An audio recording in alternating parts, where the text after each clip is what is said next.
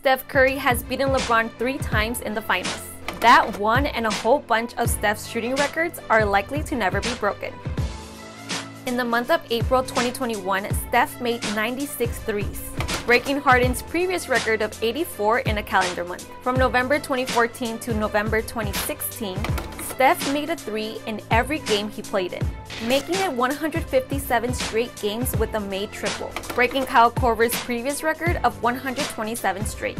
In Steph's unanimous MVP season, he made 402 threes the only player ever to surpass 400 in a single season. Even more unbelievable is that Steph did it on an absurd 45% from deep that year, while joining the elite 50-40-90 club of ultra-efficient shooting. It's only a matter of time before Curry passes Ray Allen for most career threes. Even long before he retires, we can confidently crown Steph the best shooter of all time.